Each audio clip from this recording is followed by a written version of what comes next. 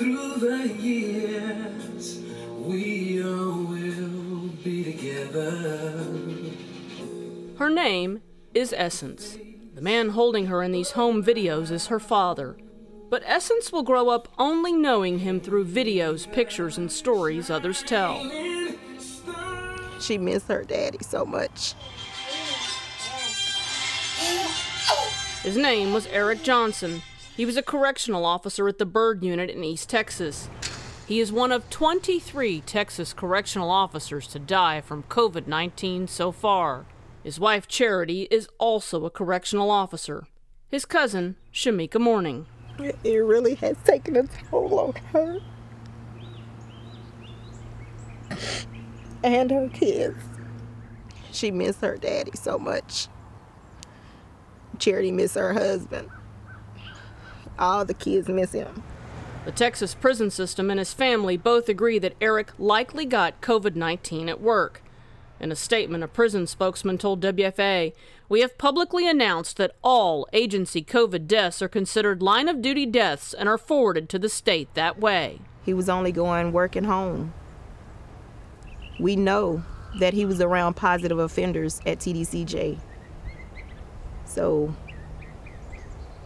I mean, it's common sense. But another state agency, the Office of Risk Management, has denied his family's workers' compensation claim.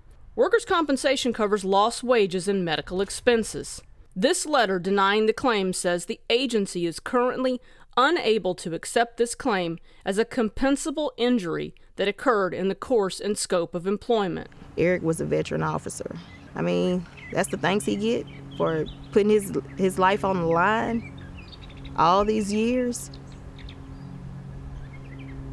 It doesn't make sense to me. Across the state, dozens of families of first responders who've died of COVID 19 are facing a similar bureaucratic maze. Justice for Elizabeth. I think that my sister made the world a better place because of the kind of person that she was.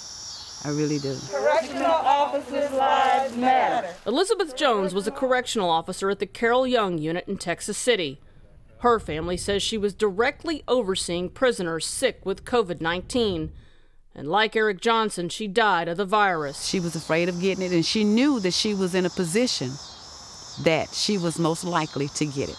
Her family also was waiting for state benefits. If my sister made one more year, she would have had 20 years with TDC, and she would have had full retirement. She was Yes. trying to get there. Trying to get there, and didn't make it. Didn't make it. Oh.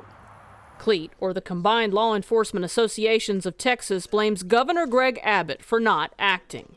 They've asked Abbott to sign an executive order that would presume first responders who died of COVID 19 contracted it on the job and make it easier for their survivors to get critical benefits.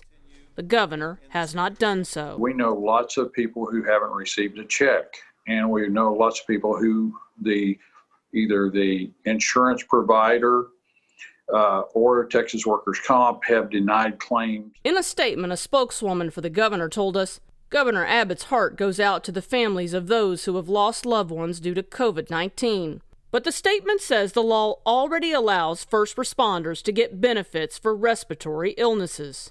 But critics say the law wasn't written to cover a pandemic. We've uh, been referred back to the statute that we created, that we wrote and struggled to write into law, and that we worked hard to pass. We're very proud of it, but it doesn't get there, and we'd be glad to claim that it did. It doesn't. Now, first responder groups are looking for lawmakers to act. State Rep Ana Maria Ramos of Richardson is leading the charge. And at the end of the day, when you look at all of this, you're talking working class families. They're not asking for, you know, anything that they haven't earned, that their families haven't get sacrificed for.